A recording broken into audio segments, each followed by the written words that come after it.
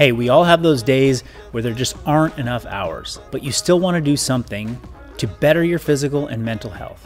When you pull up your planned workout, how do you know what you can skip while still hitting the most important parts? So let's break it down.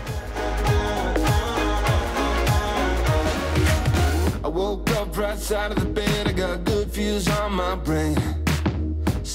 First and foremost, don't stress about not doing everything perfectly. One workout is not going to derail your progress. Showing up consistently is half the battle. But while you're here, let's make it easier to train by arming you with confidence about what to prioritize first. Never skip prep, and here's why. Being short on time means rushing through your day and probably feeling stressed. Holding on to tension in your body having your mind in a million places, and trying to get through training on the clock all heighten the risk of injury or a tweak that will set you back. Prep work doesn't have to be long to be effective, and these few minutes will help your body and brain settle in and get ready for the work ahead. You're gonna warm your core temperature, you're gonna send blood and nutrients to the muscles that you'll be using, and start to groove movement patterns for the day. Plus, it gives you a chance to set your worries aside and become present to your body. If your workout doesn't come with a warm up, start with a few minutes on a cardio machine at an easy pace. Or my favorite, pushing and pulling a sled back and forth for about five minutes. Next, I want you to look at the movements in the rest of your workout and perform a similar pattern with a band, with body weight, or with an empty barbell. For example, in an upper body workout with pushing and pulling, I might pair up half kneeling landmine presses at a light weight for 12 on each side, along with 20 to 25 banded tricep pushdowns for two total sets. Okay, my second tip you definitely want to do something for strength.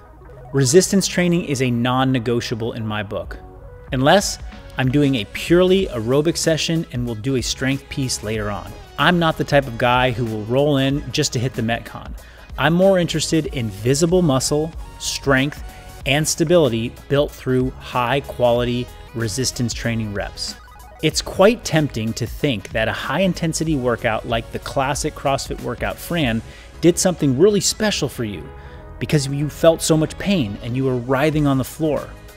But what I'd rather see is you use that intensity for a strength superset and then walk out the door with a massive pump. So consider your strength work the main meat of your training meal. And the more intensity that you bring, the more thorough your warm up should be. So don't cut corners here. And if you need some more prep or a couple extra sets to work up, take it. I'll show you a couple shortcuts you can take after this part. Now, ideally, your absolute strength work will be a superset to get two lifts in efficiently. And your last couple of sets should be around 8 or 9 out of 10 on your RPE or rate of perceived exertion scale. Close to failure, but without the form breaking down. An example from my Pump 40 program is three sets, dumbbell bench press, alternating with RNT single arm dumbbell rows. You get push and pull, bilateral and unilateral, all within a few minutes. Okay, my third tip make sure to finish on a high note. At this point, you're clocking in at around 30 minutes or even less. So let's bring it home with some more high quality muscle contractions, either in the form of strength balance, conditioning, or both.